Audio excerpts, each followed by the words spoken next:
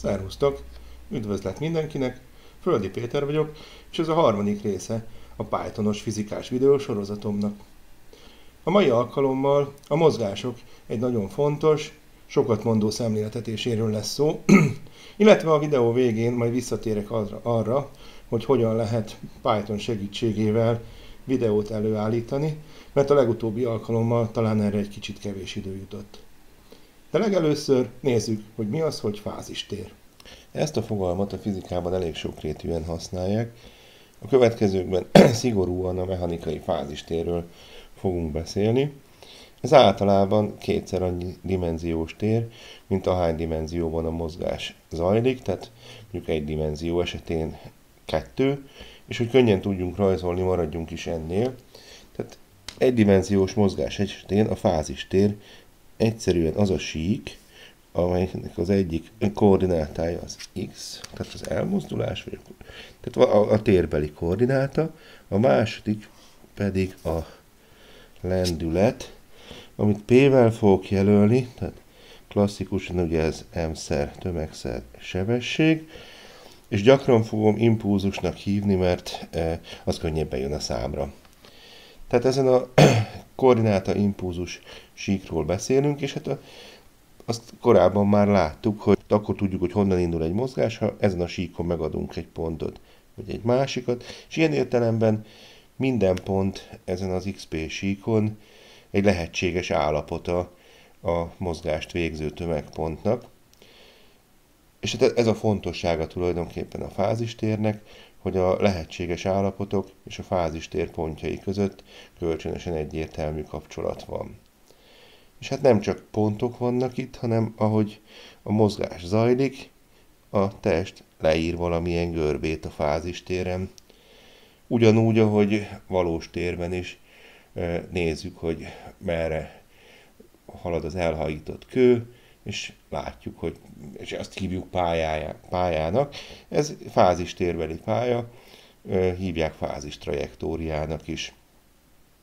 Hát amiatt, hogy a mozgás egyenlet megoldása egyértelmű, ezek a fázistérbeli pályák egy adott test esetén nem csinálhatják például azt, hogy átmetszenek, legalábbis akkor nem, ha nincs időfüggő külső erő, mert akkor van itt egy pont, ahol, ahonnan, hogyha elindulna a mozgás, hát nem volna egyértelmű, hogy merre menjen. Pedig tudjuk, hogy a mozgás egyenlet megoldása, azt, tehát ott csak egyféle, egyféle megoldás van, egyértelmű, hogy merre fog elindulni az a test. Tehát ilyenek nincsenek, ellenben az elképzelhető, hogy a görbe olyan, hogy záródik, mert akkor szépen simán saját magához csatlakozik, és hát minden pontban tulajdonképpen csak egyfelé tud menni a fázis téren, és nem sérül az, hogy mozgásegyenet megoldásának egyértelműnek kell lennie. Szóval nagyon egyszerű példát akar mondani az ember, akkor mindig a, az egyenes vonalú egyenletes mozgás jut az eszébe, amikor ugye a P nem változik, az X pedig igen, egy ilyen görbe tartozik hozzá, ami tulajdonképpen egy egyenes, hát ez nem, nem kimondottan e, izgalmas görbe, de sokkal jobb példákat fogunk tudni az alapján gyártani, amit már eddig numerikusan kiszámoltuk. Nézzük is. Ehhez használjuk azt a kódot, amit az előző alkalommal a csillapított rezgések esetén írtunk, de most ö, első körben nullára állítottam mint a közegellenállási együtthatót, mint pedig a surlódásit. Tehát ez egy ö, sima csillapítatlan oszcillátor, és hát ábrázoljuk ebben az esetben az x függvényében a sebességet, ez tulajdonképpen lényegében a fázistér, mert a tömeget most egyre választottuk, tehát számértékileg a sebesség, illetve az impulzus az ugyanakkora. Nézzük, mit kapunk. Mutatom az ábrát. Hát ez. Ez tulajdonképpen, bár itt torzul, úgy néz ki, mintha ellipszis lenne, de ez egy kör, ami azért van, mert a rugó állandó is egy, általában ez ténylegesen egy ellipszis, de ez egy nagyon jó példa arra, amikor a fázis térbeli pálya az egy zárt görbe hogyha nem ilyen hosszan számolunk, tehát ennek a mozgásnak a periódusa, tehát emiután ismétli önmagát, az két pi volt, és itt pontosan két pi-ig számoltam, hogyha ez rövidebb, akkor a görbe sem záródik, ez egy félkör lesz. Ha viszont többet írunk ide, mondjuk három, vagy esetleg négy pit, akkor többször is körbe megy ugyanazon a görbén a rendszer, amit még mindenképpen érdemes megnézni, hogy mi történik akkor, hogyha kezdetben mondjuk nagyobb a kitérés, ilyenkor, ha végig számoljuk a dolgot, hát szemre hirtelen ugyanaz lesz az eredmény, de valójában, hogyha a tengelyfeliratokat is nézzük, tehát ez itt a sebesség, ez pedig a, az elmozdulás, akkor ez kétszer akkora kört jelent. Tehát tulajdonképpen, hogyha kezdetben nagyobb a kitérés, vagy át, ami, miatt, az, ami azt is jelenti, hogy nagyobb, több energia van a rendszerben, akkor egy nagyobb körön fog a mozgás végbe menni a fázistéren. Tehát ilyen értelemben az történik, hogy az energia határozza meg, hogy ennek a körnek mekkora az átmérője. A kezdeti energia, de ez ugye ebben az esetben megmarad. A későbbiekben viszont nem, illetve hát akkor nem, hogyha mi a későbbiekben bekapcsoljuk mondjuk a közeg ellenállást, ilyenkor az energia nem marad meg, illetve pontosabban szólva a mechanikai energia, tehát a mozgási energiának és a rugalmas energiának az összege az, ami nem marad meg. Nyilván ilyenkor hő termelődik a rendszerben, ami és ezzel együtt a mérleg teljesül, tehát az összes energia a hőenergiával együtt megmarad, de a rendszer szempontjából azt kell mondanunk, hogy az energi- ez az energia elveszik a környezettel való kölcsönhatás során. Nézzük, hogy ilyenkor, ha van mondjuk közegellenállás, akkor hogy néz ki a görbe a fázistérben.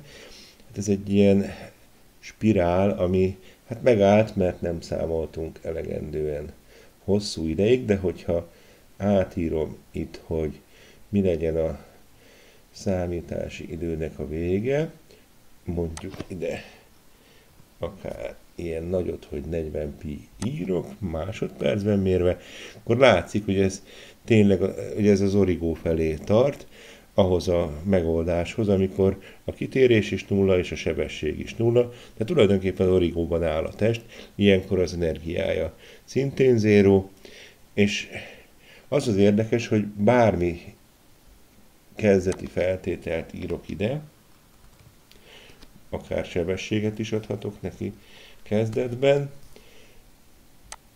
a végeredmény mindig az lesz, hogy a mechanikai energia elveszik, és a test a fázistéren az origóba tart, tehát a fázistér beli origóba esik be a mozgás, ami úgy is lehet mondani, tehát azt szokták mondani, hogy a fázistérbeli origó az fix pontja ennek a mozgásnak, tehát ha kezdetben ott van, nincs sebessége, nincs kitérése, akkor ott is marad. A másik szó, amit használni szoktak erre, hogy ez, ez, ez az origó, ez egy attraktor, ez vonzza ezeket a pályákat, mindig oda, ott fog végződni a pálya, bármit is csinálunk, amiatt, hogy ez egy pont, ezt pontszerű attraktornak is hívják, majd kicsit később látunk más miért is. A rendkedvére azért még azt vizsgáljuk meg, hogy mi történik, hogyha nem csak, helyett, hogyha közegellenállás helyett surlódási erő van, akkor a spirál kicsit másmilyen, sokkal egyenközűbb. Ezt láttuk a lecsengésnél is, hogy, hogy ilyenkor itt azért picit más a helyzet, de hogyha még hosszabb ideig számolok, mondjuk 100 pig, akkor ez is, bocsánat, szóval akkor ez is az origóban végzi. Tehát, hogyha a rendszerből energiát vonunk el, a mechanikai energia csökkenni fog, akkor az origóba fog tartani. Ez egy nagyon fontos és lényeges tapasztalat.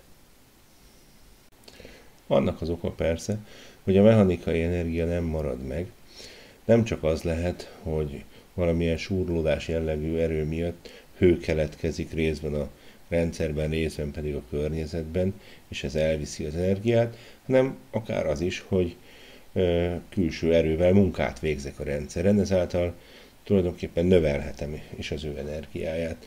Ilyen rezgő rendszerek esetén, ami különösen érdekes, az az, amikor ez a külső erő, ez periódikus. Hát példaként ezt a színuszfüggvényt írtam ide, tehát itt az előzőekhez képest semmi nem változott, azon, tehát van egy rugóerőnk, egy közegellenállási erőnk, és ez a külső gerjesztő, erő, gerjesztőnek mondott erő. Tehát erről a színuszfüggvény, amit megjelenik, tudom, hogy középiskolában nem mindenki tanulja általános esetben, van akinek, illetve lehet, hogy legtöbbeknek ez a derékszögű háromszöggel kapcsolatos függvényt jelenti, de hogyha a szög az nagyobb lehet, mint 90 fok, akkor ez egy periódikus függvény, pontosan az, amit már korábban láttunk, mondjuk a, egyszerűen a sima oszcillátor megoldásánál. És most ahhoz, hogy ezt itt használjuk, ez körülbelül elég is, majd erre a későbbiekben visszatérünk. Tehát van egy ilyen periódikus gerjesztő erő, és akkor ilyenkor, hogyha először megnézzük, hogy itt az időtengely, tehát az időfüggvényében a kitérés hogyan mutatkozik, akkor azt látjuk, hogy van egy ilyen furcsa, érdekesen változó mozgás itt az elején, ezt, ez tranziensnek szokás nevezni, de aztán a külső erő győz, és az ugyanolyan gyorsan fog oszcillálni a rángatott test, mint ahogyan azt a külső erő mondja neki. És most ez kimondottan érdekes lesz, hogy ez, ennek a fázis térbeli portréja milyen. Azt ugye úgy csináljuk, hogy itt az időt, tehát a, az x függvényében fogjuk a sebességet felrajzolni, és e, az eredmény egy ilyen jellegű görbe lesz. Lá, ezek a nagy karikák itt az elején, ezek tartoznak a tranzienshez, és ez a sűrű rész, ahol, amelyen többször is körül átmegy a rendszer, ez pedig az az oszcilláció, ami a végén kialakul, tehát aminek a frekvenciája ugyanaz, mint a külső gerjesztésé. És akkor most láttunk egy olyan attraktort, mert hogy ugye ez a, ez a, ez a sűrű görbe, sűrűn átrajzolt görbe, ez ugyanúgy vonza a trajektóriákat, mint ahogy az origó a csillagított rezgés esetén. Szóval látunk egy olyan attraktort, amely nem csak egy pont, hanem egy görbe, egy zárt görbe, ez a, ez a sűrűn átrajzolt rész itt. És akkor végezetül térjünk vissza kicsit a videókészítéshez. Itt most a ez a csillagpitott rezgésnek a fázis térbeli ábrázolása az, amit példaként szeretnék használni. És akkor megmutatom, hogy mi az, amit, mi az, amire hajtunk, mit szeretnénk majd elérni, mi lenne a jó végeredmény. Tehát van itt ez a spirál, ami az origóba tart, először szürkével rajzolva, van egy pötty, ami a, ez a piros pont, ami a rendszer állapotát jellemzi a fázistéren, és ezután, ahogy múlik az idő, ez a pötty végigmegy szépen a trajektórián, kiszínezi, amit már áthaladt, és végül megáll az origóban. Ehhez ide másoltam az előző ö, csillapított oszcillátort leíró programunk végére, az 57. sortól ezt a ábrázoló kódrészletet, vagy a videó készítő kódrészletet. Tehát ezen a ponton már a számolás lezajlott, megvannak a listáink, a koordináta és a sebesség is, tehát van mit rajzolnunk, van miből videót készítenünk. És technikailag, hogy ez működjön rendesen, ez a fajta videó készítés, mindenképpen szükségünk van erre az import sorra itt, itt, ami kéknek látszik most, illetve valószínűleg telepíteni is kell majd ami úgy megy egyszerűen, hogy ezt a sort, amit ide beírtam, nyilván a kommentjel nélkül átmásoljuk ide a parancsorba, ütünk egy Entert, megvárjuk, míg lezajlik a telepítés, majd újraindítjuk a Spider-t, és akkor remélhetőleg minden rendben lesz. Magának a videó készítésnek a lelke ez a Write Grab Frame függvény, ami azt csinálja, hogy megnézi, hogy milyen, hát mondjuk így ábra jellegű objektumokat definiáltunk korábban, ezek ugye itt vannak, és ezeket fölrajzolja, majd ha újra hívjuk, akkor a következő ábrát szintén elkészíteni az, az, az összes ilyen objektumból aktuális paraméterekkel, és ezeket egymás után fűzi ezeket az álló képeket, ami hát tudjuk, hogy ha elég gyorsan váltakozik, akkor becsapja a szemünket, és mozgóképet látunk. Ezeknek az ábraszerű objektumoknak tulajdonképpen két fajtája van. Az egyik, a, a, egyik, amik statikusak, tehát az egész videó folyamán ugyanott fognak lenni. Ez tulajdonképpen ebben az esetben ez a fekete kereszt, illetve a szürke spirál, ami most már nem látszik. A fekete egyeneseket itt definiáljuk, ez a két sor. Itt tulajdonképpen x koordináta az első lista, y a második, nem hossz, túl hosszú listák, de hát egy egyenest meghatároz két pont.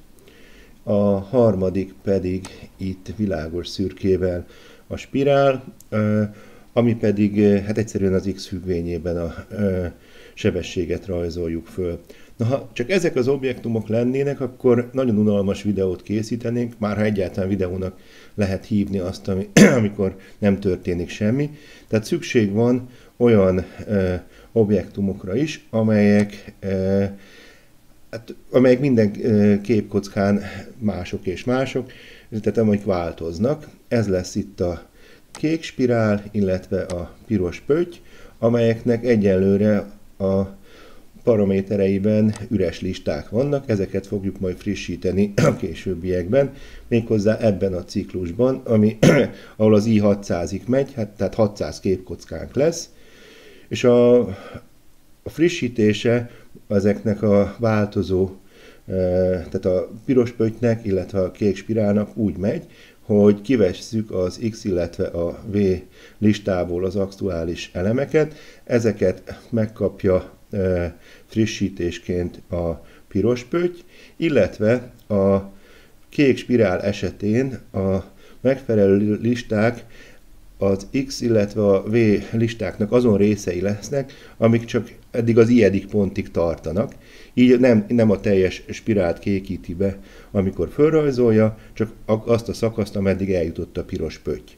Tehát így frissítettük magát a pöttyöt és a spirált is, tehát, és ezután a Writer frame függvény megrajzolja az adott képkockát és hozzáfűzi a korábbiakhoz. És ez, ezek összefűzéséből jön létre aztán az a MP4 fájl, amelyet meg fogunk találni ott, ahol a kódunk volt, tehát ugyanabban a könyvtárban, olyan néven, amit mi itt adtunk neki. Van még egy trükk, amit eddig nem mondtam el, ahhoz, hogy elég pontosan számoljunk, a delta t-nek itt a, a megoldó rutinban elég kicsinek kell lennie. Emiatt jó sok elemből állna a listánk, ha minden idő pillanatban kiírnánk, és nagy lenne az MP4 fájl, amit létrehozunk. És nem nyernénk vele a minőség szempontjából túl sokat, ezért érdemes azt csinálni, hogy nem minden idő pillanatban írjuk ki a, az X-et és a V-t, hanem csak mondjuk minden 20. lépésben, azt meg úgy lehet számolni, hogy bevezetünk egy változót, az itt ez a steps nevű, ami kezdetben nulla, és minden egyes számolási lépésben egyel nő, itt, és amikor 20-szal osztható, csak akkor írunk ki, ezt meg úgy tudjuk eh, tehát itt tulajdonképpen egy maradékképzés történik, egy egészosztásnak a maradéka, ha az nulla, akkor osztható ugye a steps 20-szal, és csak abban az esetben történik meg a kiíratás. És ebből, ezekből a ritkább listákból hozzuk létre aztán itt később a videófájlunkat. Hát remélem eh, ez most segített és hasznos volt, és ezután már önállóan is könnyebben fogtok tudni eh, Python segítségével videót készíteni. A mai napra ennyit gondoltam, köszönöm a figyelmet, szervusztok!